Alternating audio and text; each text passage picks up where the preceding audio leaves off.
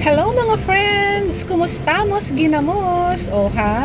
May mga napupulot ako sa mga friends ko dyan sa bandang Visayas. Kumustamos, ginamos? Magka-rhyme, di ba? Ang sarap sabihin, pero hindi ko po alam kung anong ibig sabihin ng ginamos. Paki-comment down lang po kung ano yon. Ang sarap na sabihin, kumustamos, ginamos, di ba? So yun guys, kaninang umaga, nagpunta kami sa market at hindi naghilamos ang lola nyo eh ngayon, lalabas ulit kami. Naligo na ako, pero parang walang pagkakaiba. Pangit pa rin, pagpasensyahan nyo na yung face ko.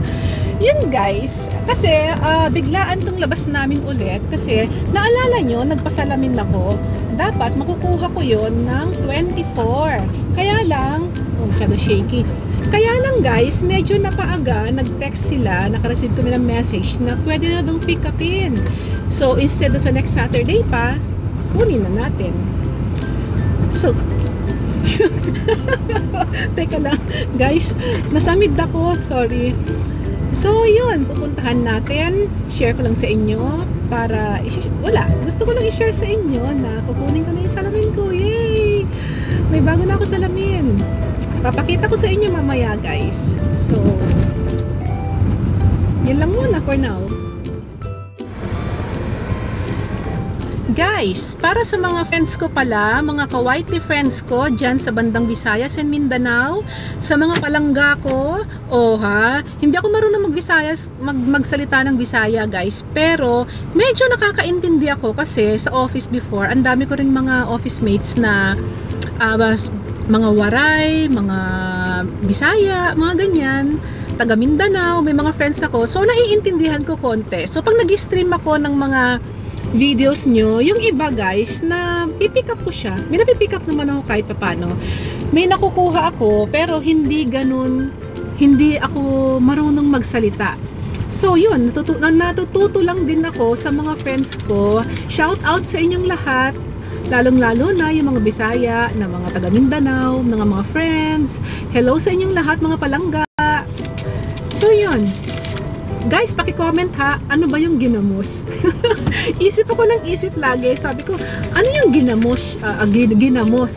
Hindi ko alam kung ano talaga yun. Natutuwa lang akong sabihin kasi nga, parang magka-rhyme siya, di ba? Yung kumustamos, ginamos. Narinig ko yun kay ano eh, sa friend ko si Javi, Javi Bella.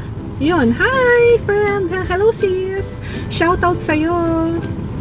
So yun, paki-comment guys ha, ano yung ginamos? Guys, sasamantalahin ko na rin pala ang pagkakataon na i-shout out yung mga loyal friends. Lahat naman, ang daming loyal friends. Marami ako mga kaibigan na lagi kong nakikita. Kaya lang, hindi ko po kayo lahat maisa-isa. Tumalsik, sorry. Hindi ko kayo maisa-isa lahat. Ang mga naaalala ko lang, ayan, si Javi Bella. Ang cute-cute ng baby mo, Javi. Hello, Javi. And Sino pa ba? Si Miss, uh, si Sis Lynn, Lynn Dickinson. Yan, mga loyal friends. Tuwan-tuwa ako sa channel niya kasi alam niyo yun, yung talagang pag nasa camera siya, very natural ang dating. Alam niyo po yun. Yung tsaka mukha siyang mabait.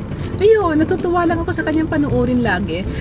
At tsaka isa pa, si Alia and family. Hello sis, ang kikit ng mga anak mo uh, tuwang-tuwa akong panoorin talaga sila na every time na every time na may bago kang video, inaabangan ko si Alia and si Akisha.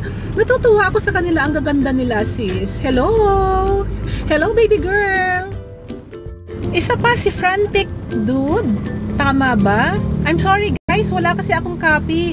Nandito kasi ako sa car ngayon, paalis kami. Eh, kung ano lang yung naiisip ko, yung naaalala ko, yun lang nasasabi ko, kaya huwag kayong magtatampo sa akin. Si Frantic Dude and si Rems TV. Ayan, mga loyal friend. Um, friend, sino pa ba? Basta guys, sa lahat ng mga friends ko, pasensya na kayo, hindi ko kayo maisa-isa lahat. Kasi hindi ko maalala. Baka siguro dapat next time magdala ako ng listahan para mabanggit ko lahat yung mga loyal friends ko. So, yun guys. Mamaya na lang ulit. Traffic.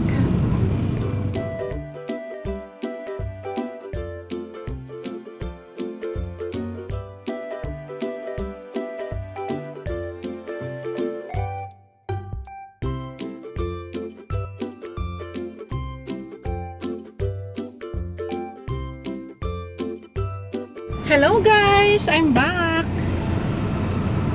I'm back guys! Nakuha ko na. Ito na yung salamin ko.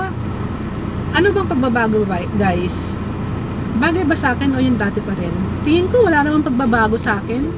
Pareho lang din ang tingin ko. Hindi naman nawala yung pagkalabo ng mata ko. Actually guys, ang hirap kasi kailangan ko mag-adjust ulit. Kasi guys, alam niyo yung salamin ko, progressive yung lens ko. So, iba yung pang distance, iba yung pang reading. Alam niyo naman, matanda na. Diba? Hindi. Kasi actually, 16 years old pa lang ako, talagang ano, talagang may sira na yung mata ko. So, so yun, dumagdag na lang yung reading. Kasi syempre, as you age, di ba? Um, medyo lumalabo na rin yung pang reading. So, progressive yung gamit ko. Iba ang lens, iba ang grade nung sa sa distance, iba yung pang reading, tapos iba pa ang astigmatism ng mata ko mataas. 300 ang astigmatism ko. So, yun. Kaya lagi ako nakasalapin, guys. Okay ba? So, yeah. Sana mawala na yung pagsakit-sakit ng ulo ko na gaya ng sinabi ko. Kaya ako nagpapalit ng salamin, guys. Actually, okay pa yung isang salamin ko. It's just that lagi sumasakit yung ulo ko. So, pina-check ko na rin yung mata ko at nagpalit na rin ako ng salamin. So, yeah. Yun lang, guys. Na-share ko lang. Bye!